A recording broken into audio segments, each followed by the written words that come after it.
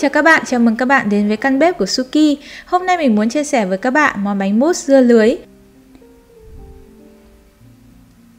Đợt này mình chia sẻ với các bạn khá nhiều món bánh lạnh rồi Cũng đang là mùa dưa mà mình cũng nhận được yêu cầu từ mọi người Nên mình bắt tay vào làm ngay món bánh mousse dưa lưới này Bánh mousse dưa ăn rất mát, ngọt béo vừa và đặc biệt là màu sắc rất chi là hút mắt đúng không các bạn? Các bạn cùng làm với mình nhé! Đầu tiên mình sẽ chuẩn bị phần đế bánh, nguyên liệu mình cần như sau. Mình dùng đế bánh quy để không cần dùng đến lò nướng. Các bạn cũng có thể thay bằng bánh ladyfinger hoặc là đế bánh bông lan cũng rất ngon. Đầu tiên mình đun cách thủy trên bếp 30g bơ nhạt động vật. Các bạn cũng có thể dùng bơ thực vật cũng được nha. Khi bơ tan chảy thì mình sẽ giữ ấm.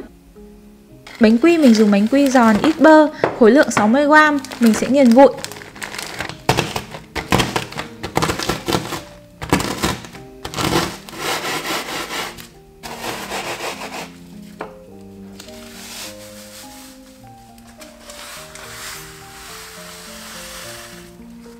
Sau đó mình trộn bánh quy với bơ chảy.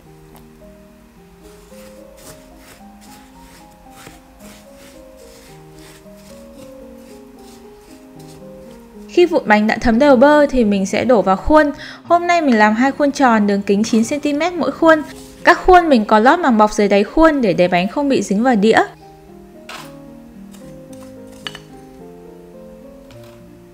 Mình sẽ nén vụn bánh xuống.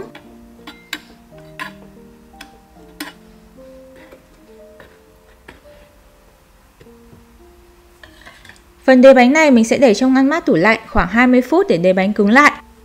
Trong lúc đó thì mình sẽ quay sang quả dưa của mình. Có rất nhiều loại dưa mà mọi người có thể lựa chọn. Các bạn có thể dùng dưa tùy theo ý thích nhé.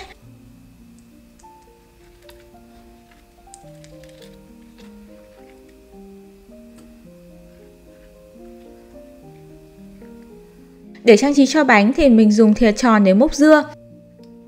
Khi múc thì các bạn nên ấn phần đầu thìa xuống trước, sau đó xoay tròn. Mình thấy làm như vậy ta sẽ múc được những viên dưa tròn đều nhất. Trước đây thì mình hay múc cạnh thìa xuống trước thì nó sẽ không được tròn đều bằng.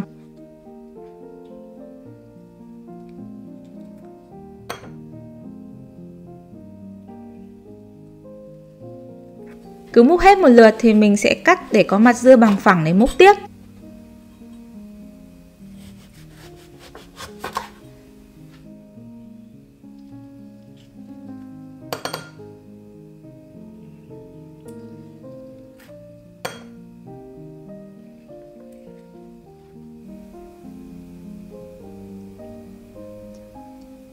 Những phần dưa thừa thì mình sẽ cắt nhỏ.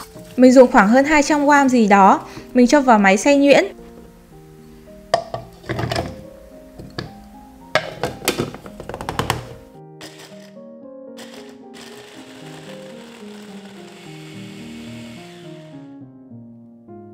Sau đó mình sẽ cho dưa vào nồi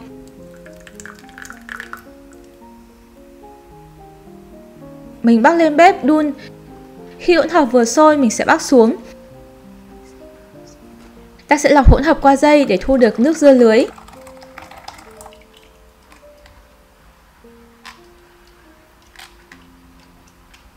Việc đun này sẽ giúp cho mình bảo quản bánh được lâu hơn, mà cũng loại bỏ bớt một số loại enzyme có trong dưa mà nó sẽ ngăn cản quá trình làm đông của gelatin.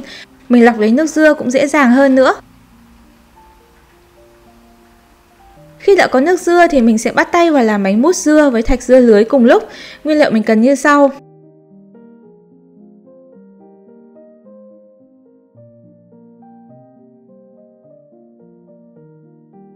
Cho phần mousse mình dùng 5g gelatin lá, nếu là gelatin bột thì ta cũng sẽ dùng 5g.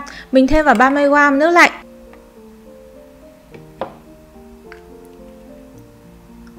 Mình sẽ để gelatin ngâm trong khoảng 15 phút để gelatin nở ra. Ở một bát khác mình ngâm 4g gelatin với 30g nước lạnh.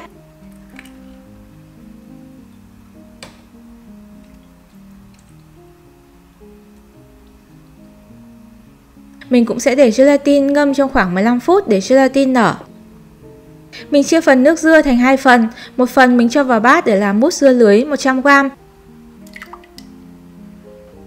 và một phần để làm thạch dưa lưới 80g. Với phần thạch dưa lưới, mình thêm vào cốc 4g gelatin đã ngâm nở.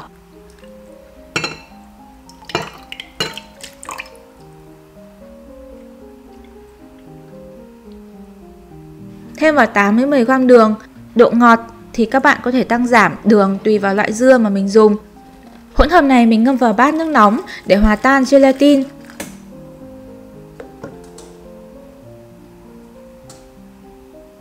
Khi gelatin đã tan thì mình sẽ giữ ấm hỗn hợp để sau này đổ khuôn, tránh để nó bị đông. Nếu thạch đông thì mình có thể ngâm lại vào bát nước nóng nhé. Tiếp theo với phần mousse, mình cũng sẽ ngâm bát nước dưa lưới 100g vào bát nước nóng.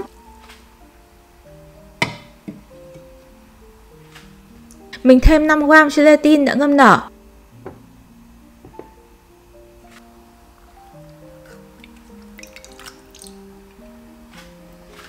Khuấy đều cho gelatin hòa tan.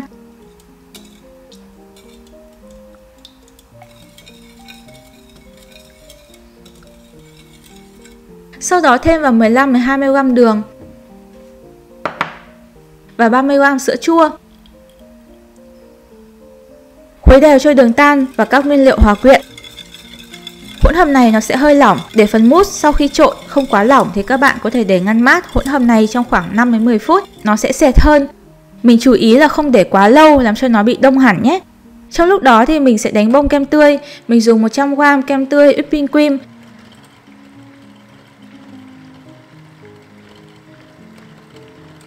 Mình sẽ đánh đến khi kem tăng thể tích và bông mềm, ta không cần đánh đến khi bông cứng nhé.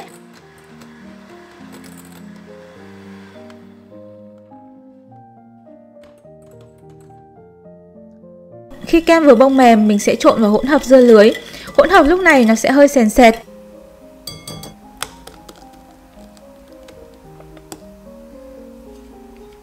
Mình trộn nhẹ nhàng đến khi hỗn hợp hòa quyện. Nó sẽ không bị lỏng quá, thì khi mà các bạn đổ khuôn, dùng bánh bông lan hay lady finger, bánh sẽ không bị nổi lên trên bề mặt kem. Khi hỗn hợp đã hòa quyện, mình sẽ chia vào hai khuôn đã chuẩn bị trước, mỗi khuôn 1 phần tư lượng kem.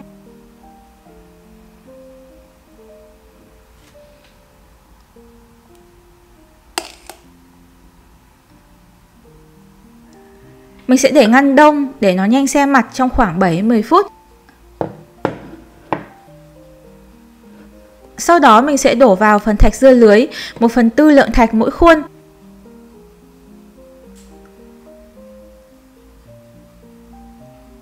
Mình sẽ để lại vào ngăn đông 7 đến 10 phút nữa. Ta lặp lại các bước này để thêm một lớp mousse và một lớp thạch dưa lưới.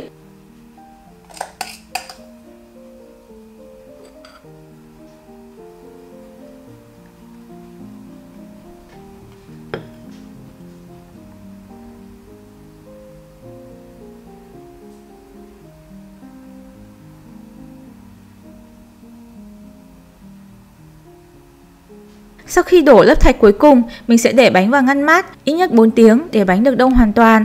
Khi bánh đã đông thì mình sẽ dỡ khuôn.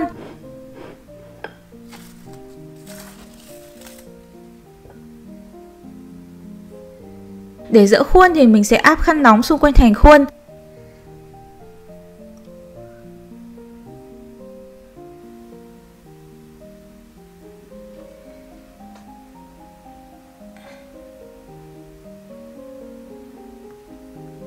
Mình trang trí bánh bằng các viên dưa đã chuẩn bị.